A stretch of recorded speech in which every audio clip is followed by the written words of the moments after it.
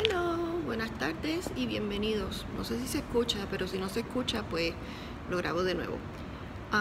Gracias por estar aquí de nuevo conmigo. Si no se ha suscrito, hágalo.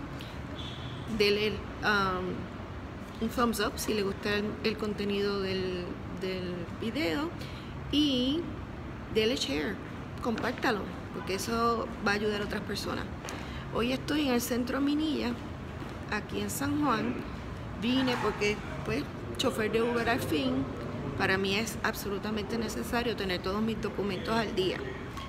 Eh, en mi caso, yo tenía las multas del autoexpreso, de las que todo el mundo, bueno, la mayor parte de la gente recibió, las mías subían hasta 5 mil y pico de dólares.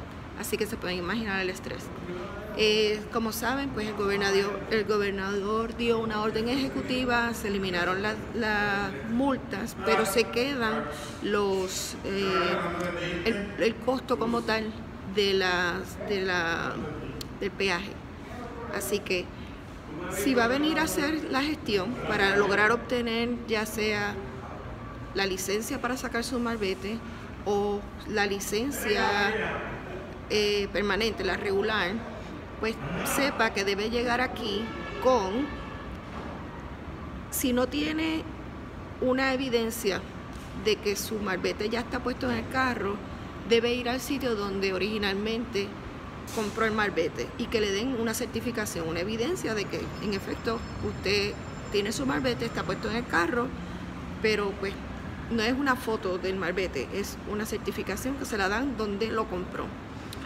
Eh, la otra cosa es la licencia temporera que le dieron si usted vino a reclamar las multas. Eh, le dieron un papel que en teoría dura seis meses y ese es, esa es su, ese es su, la licencia de su carro temporera. Okay. Eh, y tiene que traer su identificación que puede ser pasaporte o la licencia de conducir. Una vez ya esté aquí con todas esas cosas, lo primero que debe hacer es ir aquí. Eso es Oficina de Servicios al Ciudadano. El horario es de 7 y 30 a 5, de lunes a viernes. Entonces, aquí le van a dar un informe, un reporte de las multas. ¿Ok? Con ese reporte, usted pasa acá. Ahí es donde originalmente las personas tenían que venir a solicitar eh, la vista preliminar para que le eliminaran los, las multas del autoexpreso. Ok. Cuando sale de aquí con el reporte, disculpen, cuando sale de aquí con el reporte, pasa allá si tiene ATH o tarjeta de crédito. Cuando va allí, paga no las multas, sino los peajes. ¿Ok? Con el recibo que le dan ahí, entonces regresa acá y ahí le van a resolver lo, lo que usted necesite. Pero antes de continuar y especificar un poquito más sobre lo que cómo se resuelve ahí, sepa que si va a pagar con efectivo, eh, no es en esta oficina, sino en este edificio tiene que subir al piso 7 y ahí le puede pagar con, efectivo.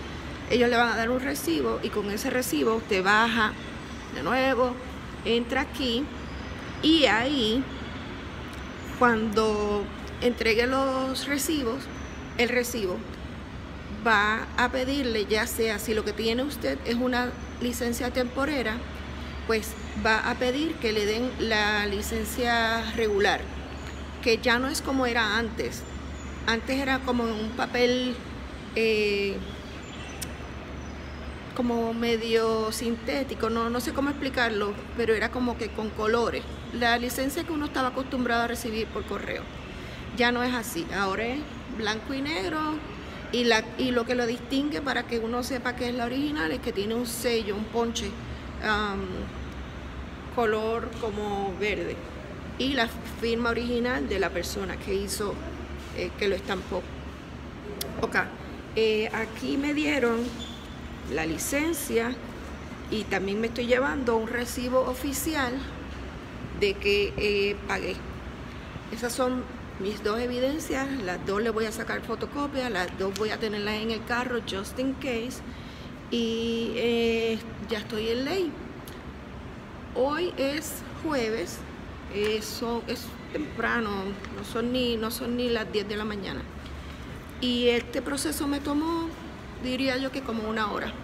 Así que no es tan difícil si usted sabe lo que tiene que hacer. Casos más complicados, pues mire, llegue hasta aquí y vaya originalmente a esta oficina, a la de Servicios al Ciudadano, porque lo van a orientar. Y ya después que usted esté orientado, pues si tiene que salir de aquí y buscar documentos, pues mire, saca el día completo para resolver. Solo usted sabe cuán difícil es su caso y cuán difícil va a ser lograr cumplir con todos los requisitos que le exijan en la oficina de, ya sea de Departamento de Obras Públicas, la parte de, de Servicio de Ciudadano o la de Autoridad de Carretera y Transportación, que en, en, en Boricua eh, pues es la oficina del autoexpreso, que no es la que está en Metro Office Park, porque realmente no es de autoexpreso solo. Es, es como que la división del Departamento de Transportación y Obras Públicas que atiende los casos. de eso. Eso es todo por ahora. Me voy que tengo que ir a trabajar. Gracias por eh, estar aquí hoy. Comparta este video, denle un thumbs up. Suscríbase si no se ha suscrito. Y éxito. Hay que tener mucha paciencia, pero se logra. Y si usted es exitoso en esta isla, usted es un borico isleña. O isleño. Nos vemos. Bye.